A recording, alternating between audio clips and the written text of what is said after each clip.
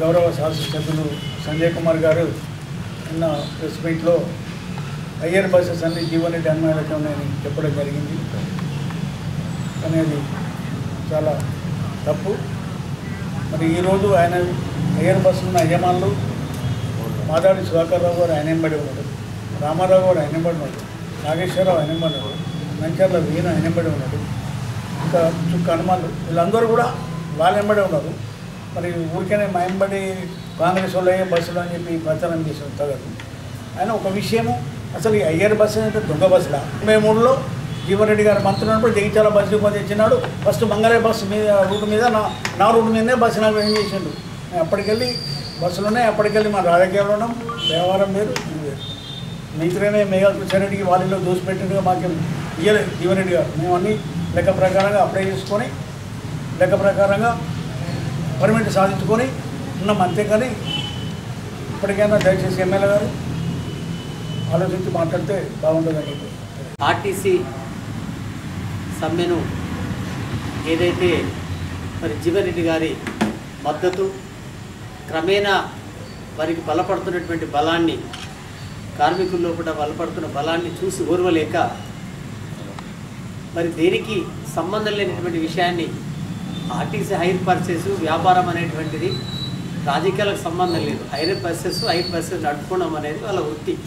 కానీ దానికి రాజకీయాలకు ముడిపెట్టి మరి శాసనసభ్యులు మరి హైర్ బస్సెస్ అంతా జీవరెడ్డి అన్నాయిలే ఉన్నారన్నటువంటిది ఏదైతే చేసిండో మరి ఆయన ఆలోచించుకోవాలి? ఈరోజు అసలు హైర్ ఇచ్చేటువంటి ఎక్కువ సంఖ్య శాసనసభ్యులు అనుచరులే ఉంటారనే మాటను ఆయన గుర్తుంచుకోవాలా? ముందు మిమ్మల్ని కూడా శాసనసభ్యులు గారు ఒకరోజు ప్రజలు తెలంగాణ ఉద్యమంలో ఏ రకంగా అయితే మిమ్మల్ని రాజీనామా కోరారో త్వరలోనే తెలంగాణ ప్రజలు టీఆర్ఎస్ శాసనసభ్యులను కూడా రాజీనామా చేయమనేటువంటి పరిస్థితి వస్తుంది. ఆ పరిస్థితిని మీరు ఎదుర్కోవాల్సి వస్తుంది ఈ సందర్భంగా నేను తెలియజేస్తున్నాను మరి దాంతో నిన్నటి నిన్న గౌరవ ముఖ్యమంత్రి గారు ఆర్టీసీ కార్మికుల పైన అసలు ఈ యూనియన్ లేనిది. ఈ యూనియన్ యూనియన్లోనే గత్తర్ లేపుతున్నారు యూనియన్లో ఉన్నటువంటి నాయకులే కార్మికులను గందరగోళపరుస్తున్నారని చెప్పి ఒక ఆరోపణ చేయడం జరిగింది. అయ్యా కేసీఆర్ గారు నువ్వు లేనప్పుడు నువ్వు పుట్టకముందు యూనియన్లు వచ్చినాయి. సంఘం ఏర్పరచుకోవడం కారణం హక్కులను సాధించుకోవడానికి సంఘం ఏర్పరచుకుంటారు. కనీసం మినిమం నాలెడ్జ్ నీకు లేకపోతే దానికి ఎవడు చెప్తాడా సార్ రాజ్యాంగం తెలుసా నీకు? ఒక అమ్మాయి హైదరాబాద్లో మాట్లాడుతుంది సీఎం నీకు రాజ్యాంగం తెలియదు రాజ్యాంగం తెలియదు నీ సీఎం ఎట్లా చెప్పి అడుగుతుందా ఆమె. దానికి జవాబు చెప్పు ముందు. అదేవిధంగా ఆర్టీసీ. ఆర్టీసీని ప్రైవేటీకరణ చేయడానికి కొరకు ఇందులో భాగంగా ఇది ఒక భాగం. అందులో వరంగల్లో ఉన్నటువంటి హంటర్ రోడ్ పక్కన ఉన్నటువంటి ఆర్టీసీ టైర్ రూపింగ్ చేసేటువంటి ఒక కర్మాగారాన్ని కర్మాగారాన్ని దాన్ని ప్రైవేటీకరణ చేసి అక్కడ ఎంపీ ఉన్నటువంటి దయాకర్ దయాకర్కు సింగిల్ టెండర్తో సింగిల్ టెండర్తో ఆయనకు రాయడం జరిగింది. మరి అది టెండర్ విధానం ప్రక్రియ తెలుగు పేపర్ రావాలి హిందీ- ఉర్దూ పేపర్ రావాలి ఇంగ్లీష్ పేపర్లు కూడా ప్రచురణ కావాలి. కానీ నువ్వు ఏ పేపర్లో చేసిన సందర్భంలో ప్రశ్నిస్తున్నావు. ఒకటి. అదేవిధంగా మొన్న వైన్స్ టెండర్ జరిగినాయి. రాష్ట్ర వ్యాప్తంగా లక్షలాది రూపాయలు వచ్చినాయి. మరి ఇది ఎంతమంది ఎందుకు వచ్చారు? దానికి సింగిల్ ఎందుకు వచ్చారు? ఈ వైన్స్కు టెండర్స్కు ఇంతమంది ఎందుకు పాటు పార్టిసిపేట్ అయ్యారు దాని ఒక్కరికి సింగిల్ ఎందుకు వచ్చింది? అదేవిధంగా నీ అనియుడు నీవు నీ దగ్గరికి సంబంధించినటువంటి వారికి నలభై నాలుగు పెట్రోల్ బంకులు వచ్చినాయి. ఈ నలభై నాలుగు పెట్రోల్ బంకులు ఎట్లా వచ్చినాయి ఏ పత్రికలో నువ్వు యాడ్ చేసినావు? ఎక్కడ పబ్లిక్ చేసినావు? ఏ రూపంగా ఏ సిస్టంలో వచ్చినాయి? ఒకసారి ఈ సందర్భంలో కాంగ్రెస్ పార్టీ పక్షాన్ని ప్రశ్నిస్తాను. అదేవిధంగా నిన్న జగిత్యాల పట్టణంలో జగిత్యాల నియోజకవర్గ ఎమ్మెల్యే సంజయ్ కుమార్ గారు ఏదైతే హుజర్ నగర్లో జరిగిన ఎలక్షన్స్లో భాగంగా ప్ర- మాట్లాడడం జరిగింది. నిజంగా కూడా అది బాధాకరము. ఎందుకంటే ఒక ఆర్టీసీ కార్మికుల గురించి మాట్లాడడం జరిగింది. ఆర్టీసీ కా కార్మికులు దగ్గరికి వెళ్ళి కాకి డ్రెస్ వేసుకొని మాట్లాడడము అదేవిధంగా ఆడికి వెళ్ళి కుర్చీ వేసుకొని భోజనం చేయడం జరిగింది. జీవరెడ్డి గారని చెప్పడం జరిగింది. నిజంగా కాకి డ్రెస్ గురించి మీకు తెలియదు. మీకు ఆ కాకి డ్రెస్ వాల్యూ అనేది తెలియదు కాబట్టి అలా మాట్లాడేది. ఎందుకంటే మీరు పుట్టి పుట్టి డాక్టర్ వృత్తిలో ఉన్నారు కాబట్టి మీరు ఏసీలో పెరిగి ఏసీలో ఉన్నారు కాబట్టి మీకు ఆ కాకి వృత్తి గురించి తెలియదు. ఇరవై ముప్పై సంవత్సరాల నుంచి జీవన్ రెడ్డి గారు ప్రజల మధ్యలో ప్రజల్లో ఉంటూ వెలుగుతున్నారు కాబట్టి వాళ్ళ బాధలు అనేది జీవన్ రెడ్డి గారికి తెలుసు కాబట్టే ఆ కార్మికుల దగ్గరికి వెళ్ళి కా కాకి డ్రెస్ వేసుకొని మరి వాళ్ళకి మద్దతు ఇవ్వడం జరిగింది. ఆ కాకి డ్రెస్ వేసుకున్నట్టు మాత్రాన జీవన్ రెడ్డి గారు నిజంగా మా మాట్లాడడం అనేది అదేవిధంగా అక్కడికి వెళ్ళి భోజనం చేయడం అని కుర్చీ వేసుకొని భోజనం చేయడం అని కూడా మాట్లాడడం జరిగింది. కుర్చీ వేసుకొని అంటే మీరు వెళితే మీకు కుర్చీ వేస్తారో ఏరో తెలియదు కానీ కార్మికులు మాత్రము జీవన్ రెడ్డి గారిని వాళ్ళకు ఒక ప్రజా నాయకుడిగా గమనించారు కాబట్టి జీవన్ రెడ్డి గారికి కుర్చీ వేసుకొని మరి భోజనం పెట్టడం జరిగింది. అదొక గౌరవప్రదమైన అనుకోవాలి తప్ప ఏదో దగ్గర అక్కడికి వెళ్ళినాం అంత మాత్రాన మీరు ఇదిగా భావించకూడదు.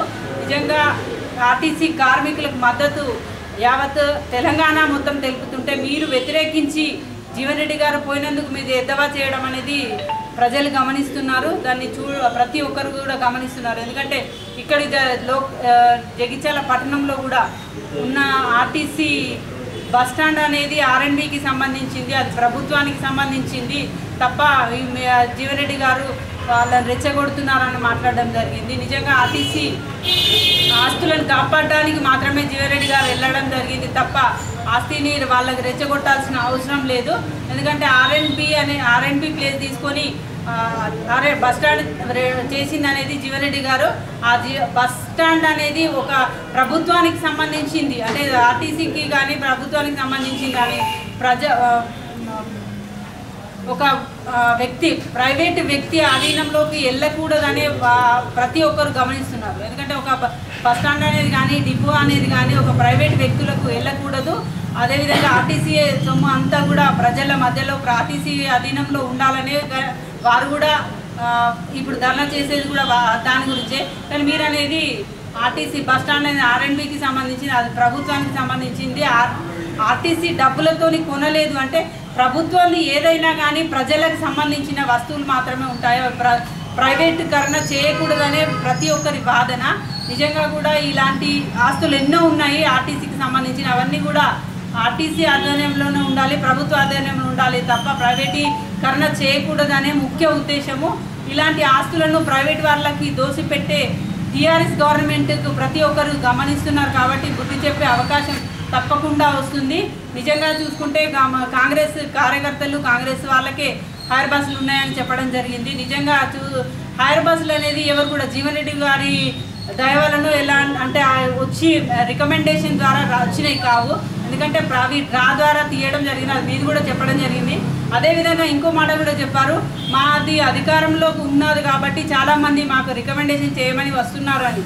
అంటే మీ టీఆర్ఎస్ గవర్నమెంట్ ఒప్పుకున్నట్టే. ఎందుకంటే ఒక అధికారంలో ఉంది కాబట్టి రికమెండేషన్స్కి వస్తే మీకు రికమెండేషన్ చేసి ఇలాంటి బస్సులు కానివ్వండి అదేవిధంగా టెండర్లు కానివ్వండి ప్ర ప్రైవేటు పరం చేసినామని మీరు ఒప్పుకున్న వాళ్ళు ఎందుకంటే మా దగ్గర మా అధికారం ఉంది మేము మా దగ్గరికి వచ్చి మాకు రికమెండ్ చేయమని అడుగుతున్నారని మీరే చెప్పడం జరిగింది. కానీ జీవన్ రెడ్డి గారు మాత్రము కార్యకర్తలని కాదు ప్రతి ఒక్కరి న్యాయబద్ధంగా పోవాలని కార్యకర్తలకు కూడా ఉద్దేశించడం జరిగింది. అదేవిధంగా ఈ బస్సుల బస్సులలో కూడా న్యాయబద్ధంగానే వెళ్ళడం జరిగింది. ప్రతి ఒక్కరు కూడా ప్రతి ఒక్కరికి కార్యకర్తలంతా మాత్రాన వారికి అంటూ ఒక వ్యాపారం ఉంటుంది. ఆ వ్యాపారంలో వారు ముందుకెళ్తారు.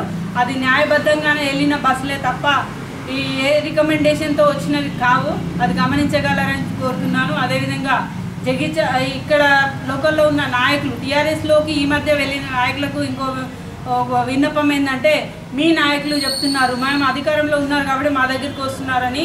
అది గమనించండి మీ అధికారం అనేది ఎన్ని రోజులు ఏ పార్టీకి ఉండదు.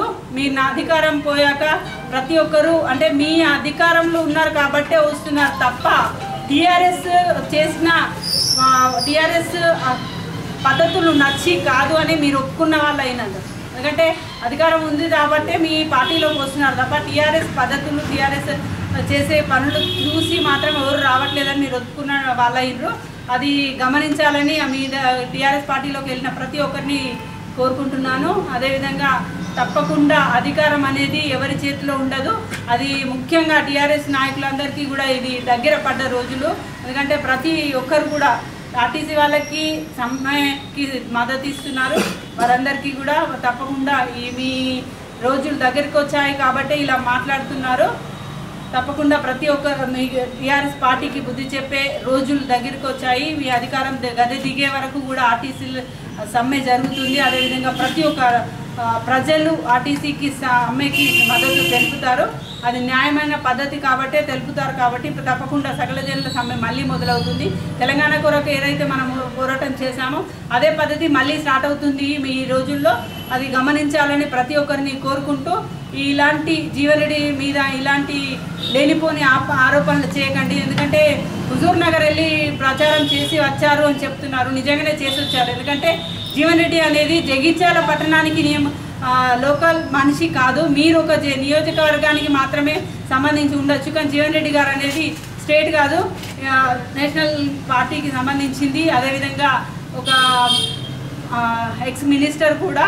అదేవిధంగా తెలంగాణలో ప్రతి ఒక్క వారికి తెలిసిన వ్యక్తి కాబట్టే ఆయన అక్కడికి వెళ్ళి ప్రచారం చేయడం జరిగింది. కాబట్టి మీరు ఇలాంటి జీవనరెడ్డి గారి మీద లేనిపోని ఆపనలు చే ఆరోపణలు చేయడం మాని మీరు మీ నియోజకవర్గాన్ని చూసుకోండి. ఎందుకంటే ఇంకోటి కూడా చెప్తున్నారు ప్రతిసారి సారి కూడా జగిత్యాల నియోజకవర్గ ఎమ్మెల్యే నేనని. అంటే ప్రతి ఒక్కరికి తెలుసు మీరు ఎమ్మెల్యే అని అని మీరు చెప్పుకోవాల్సిన అవసరం లేదు.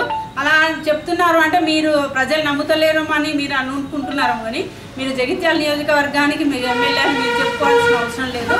అదొకటి గమనించి మీరు మాట్లాడాలని కోరుకుంటున్నాను.